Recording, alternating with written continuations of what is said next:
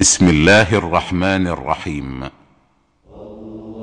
يسر مؤسسة وتسجيلات حنين للإنتاج والتوزيع أن تقدم لكم. دعاء تختيم القرآن الكريم من صلاة التراويح بالمسجد الحرام لعام 1424 للهجرة النبوية.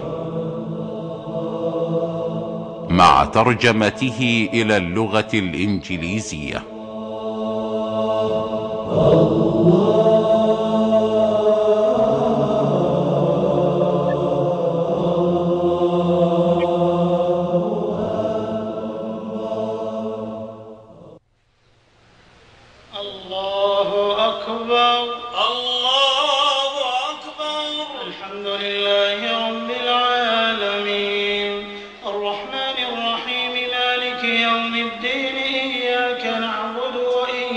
وإياك نستعين.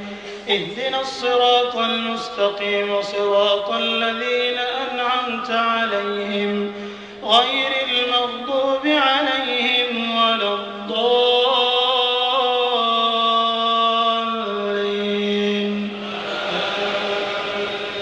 قل هو الله أحد الله الصمد لم يلد ولم يولد ولم يكن له كفوا أحد. قل أعوذ برب الفلق من شر ما خلق ومن شر غاسق إذا وقب ومن شر النفاثات في العقد ومن شر حاسد إذا حسد. قل أعوذ برب الناس ملك الناس إله الناس من شر الوسواس الخناس الذي يوسوس في صدور الناس من الجنة والناس. اللهم إنا نحمدك ونستعينك ونستهديك ونستغفرك ونتوب إليك. ونؤمن بك ونتوكل عليك ونثني عليك الخير كله. اللهم لك الحمد أنت قلت وقولك الحق المبين. ومن أصدق من الله حديثا ومن أصدق من الله قيلا. قل صدق الله فاتبعوا ملة إبراهيم حنيفا. لا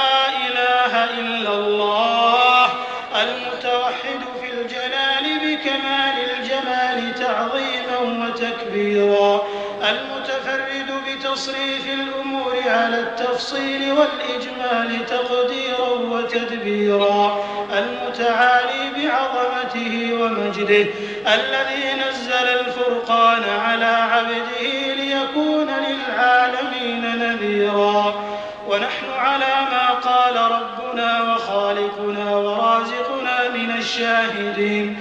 ولما أوجب وألزم غير جاحدين والحمد لله رب العالمين. وصلوات الله وسلامه على سيد الأولين والآخرين. وخاتم الأنبياء والمرسلين. نبينا محمد وعلى آله الطيبين الطاهرين. وصحابته الغر الميامين. وأزواجه أمهات المؤمنين. والتابعين ومن تبعهم بإحسان إلى يوم الدين. اللهم لك الحمد كما هديتنا للإسلام وعلمتنا الحكمة والقرآن.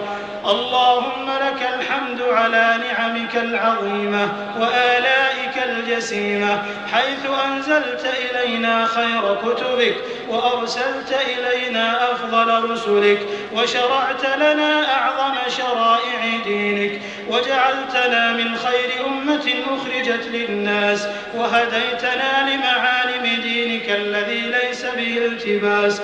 ولك الحمد على ما يسرت من صيام شهر رمضان وقيامه وتلاوة كتابك العزيز الذي لا يأتيه الباطل من بين يديه ولا من خلفه تنزيل من حكيم حميد. اللهم إنا عبيدك بنو عبيدك بنو إمائك نواصينا بيدك ماض فينا حكمك عدل فينا قضاؤك. نسألك اللهم بكل اسم هو لك سميت به نفسك أو أنزلته في كتابك أو علمته أحدا من خلقك أو استأثرت به في علم الغيب عندك. أن تجعل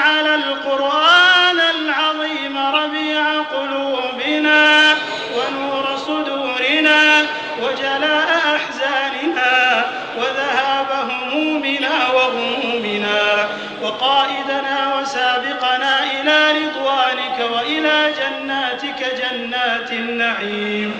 اللهم اجعلنا ممن يحل حلاله ويحرم حرامه ويعمل بمحكمه ويؤمن بمتشابهه ويتلوه حق تلاوته على الوجه الذي يرضيك عنا. اللهم ذكرنا منه ما نسينا وعلمنا منه ما جهلنا وارزقنا تلاوته آناء الليل وأطراف النهار على الوجه الذي يرضيك عنا.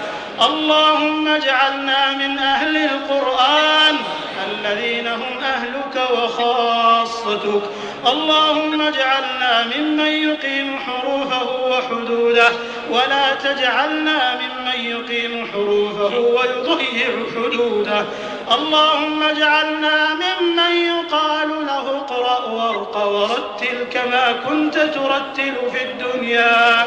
يا ذا الجلال والإكرام اللهم ألبسنا به الحلل وأسكنا به الظلل وادفع به عنا النقم وزدنا به من النعم واجعلنا به عند الجزاء من الفائزين وعند النعماء من الشاكرين. وعند البلاء من الصابرين. اللهم اجعل القرآن العظيم لقلوبنا ضياء ولأبصارنا جلاء ولأسقامنا دواء ولذنوبنا ممحصا وعن النار مخلصا. يا ذا الجلال والإكرام.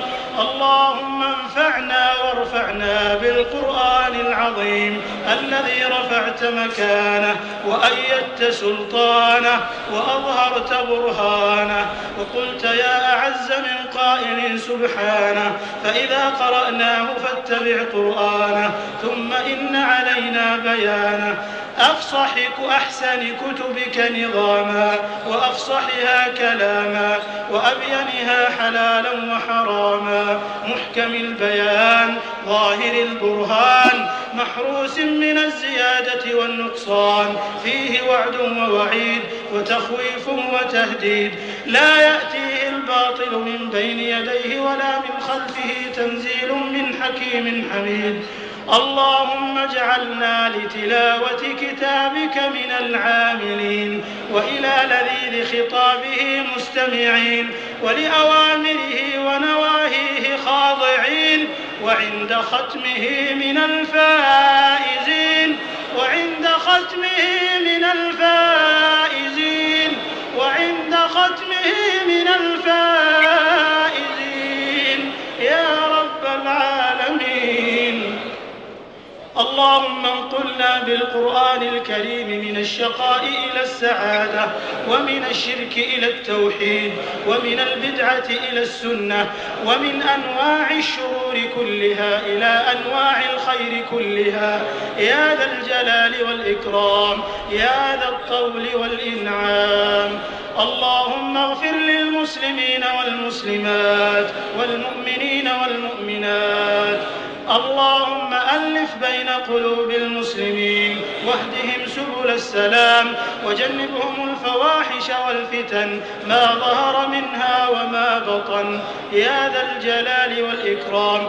اللهم اغفر لجميع موتى المسلمين الذين شهدوا لك بالوحدانية ولنبيك بالرسالة وماتوا على ذلك.